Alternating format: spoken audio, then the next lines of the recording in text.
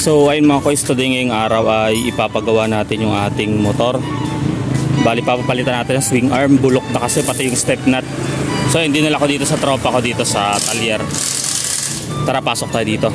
Ngayong araw nga pala mga kuys ay pina-check up ko yung motor kong silagalag. Medyo kumikintab na kasi siya sa kalawang. Butas na rin nga pala yung swing arm niya kaya papapalitan ko na.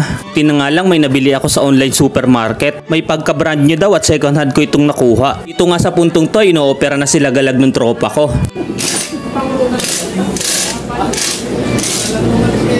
Boss, ito ipapalit natin na ano, swing arm. Asan?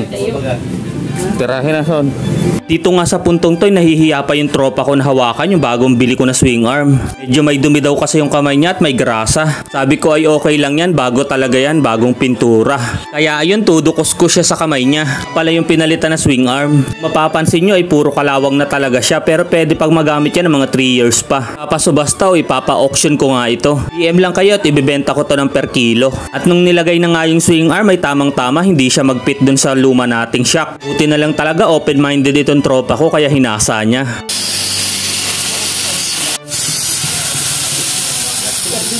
Yung mga kasama nga niya dito sa talyer ay nagbabaklas naman ng makina. Kaso nga lang nagtataka sila parang lumabis nga daw yung tornilyo. Sabi ko naman ay okay lang yan, di baling maglabis, wag lang magkulang. Welding nyo na lang, pwede na yan. After a while nga, mamaya-maya pa ay may biglang poging dumating. Kilala nyo ba mga quiz kung sino to? Comment down below kung kilala nyo to. Tinanong ko rin nga siya kung anong ginagawa niya ba dito. Papa-change oil daw pala siya. Mga 1 year and 2 months na daw kasi siyang hindi nakakapag-change oil pati yung motor niya. Sabi ko naman ay tamang-tama at ako na lang mag-change oil. Kako nga ibayaran na lang ako doon sa labor kahit hindi na doon sa langis. Sakto kasi may baon ako ditong pinagprituhan ng manok. Yun nga lang ayaw niyang tanggapin yung offer kong project proposal kaya bumili na lang siya ng bago. Ano itong ganito te? 255. May mura-mura ka dito? Shout out naman dyan. Yun, shoutout. Okay, ikaw te. Tumaway ka na ka. Ayun, shoutout nga pala dito kay ate sa may-ari ng motor parts dito. So ayun, nakapag-change oil na si Dogs. May utang ka sa akin, yari ka.